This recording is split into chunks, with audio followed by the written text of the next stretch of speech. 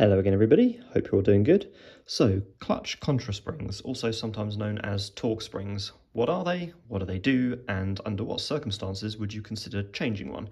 So, as far as what they are, they are springs, just like this one here, which sit in between the rear um, belt pulley and the clutch at the back of the scooter. So they're normally in this position down here, just in front of the wheel there. Uh, between, between this and the actual wheel drive shaft itself, there is actually some gears as well. But this sits at the back, is driven by the belt, and the spring, you can actually see the spring in there, sits in between these two things.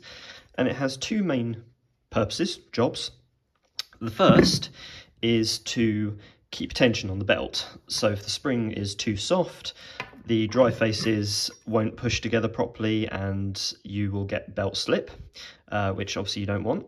The second job they have is to basically uh, aid in returning the belt to its lower gearing. So basically, your roller weights in your variator dictate at what rate the gear ratio changes up, as in the rate at which the belt at the front gets bigger and gets smaller at the back. The spring at the back does the opposite. It dictates the rate that the scooter shifts down into a lower gear when you let off the accelerator. So when you let off the accelerator, this spring is going to push these plates back together, which is going to return the belt to its higher point on the rear pulley and its lower point on the front pulley, giving you that lower gear for pulling away again. Um, so effectively, if your spring is too soft, you're going to suffer from two possible issues. The first issue is going to be that your um, belt might slip, therefore you will not be getting power onto the road.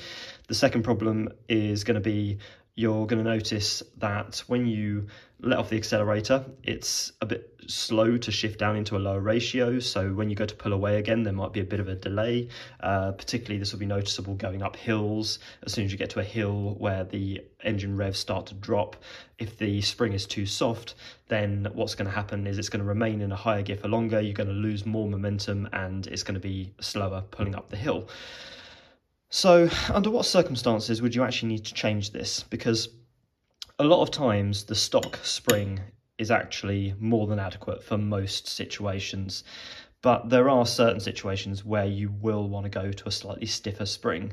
Most of the time, it's going to be if you've modified the scooter beyond a certain point.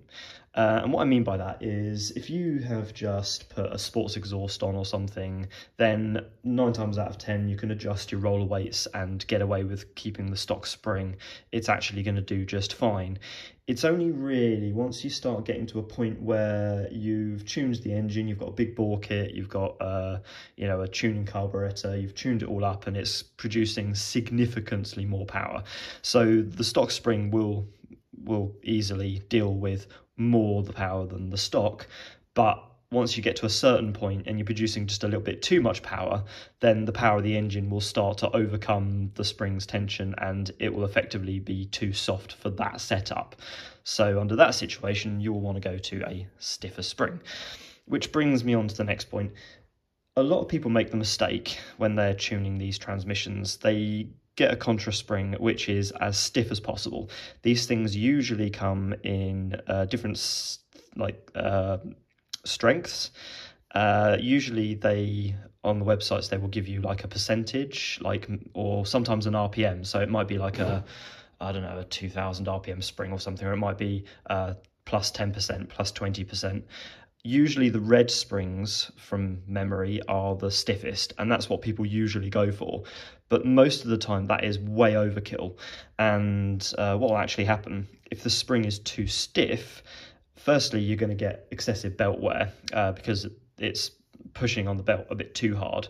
Uh, but also if the spring's too stiff what's going to happen is because effectively, you know, your roller weights at the front, when you're accelerating, they are pushing the belt uh, outwards and pulling it in at the back, and that's fighting against this spring. So, as I've mentioned before, you need this spring to have a certain amount of tension in order to stop the belt from slipping and to make sure that it goes down the gear again when you let off the accelerator. But if it's too stiff, then what will happen is the roller weights at the front might not necessarily be able to push the belt the whole way, and you might actually lose top end. Um, so that's basically not what you want.